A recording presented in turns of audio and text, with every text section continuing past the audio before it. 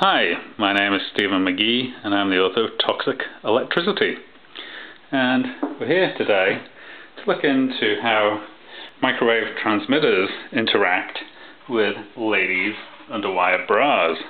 And to do this test we have a metal underwire that I've taken out of a lady's bra and to read how much the microwave environment is changing around this we have this microwave meter and right now we can see that we're hovering around 600 millivolts per meter right now.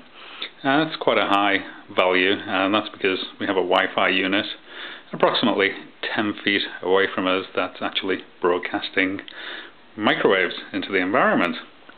So let's see if we can push that meter reading up to maybe 800 by simply introducing the underwire. So here goes. So we're currently reading between 6 and 700.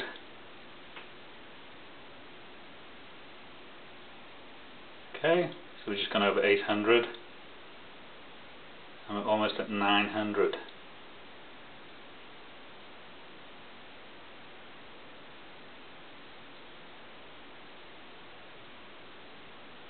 There we go, we just obtained over 900 millivolts per meter. And we see it dropping back down as we go further out. So let's come back. Okay, so we've gone over 800, almost 900.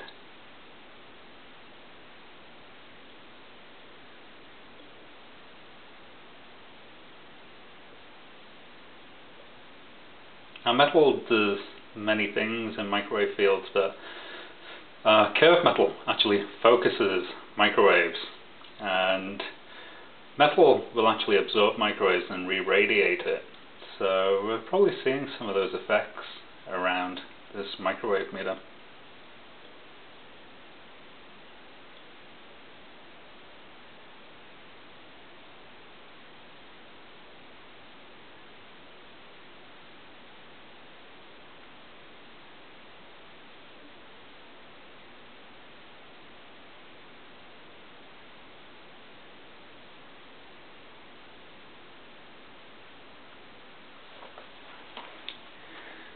So the test is pretty conclusive that when you're around these microwave transmitting devices and you put metal into those fields, the metal actually amplifies the field and actually increases it. And in the case of ladies' underwire bras, this curve may actually focus the microwaves into the breast tissue and the long-term exposure to that is currently unknown. I hope you enjoyed this presentation and I wish you the very best of health. Thank you.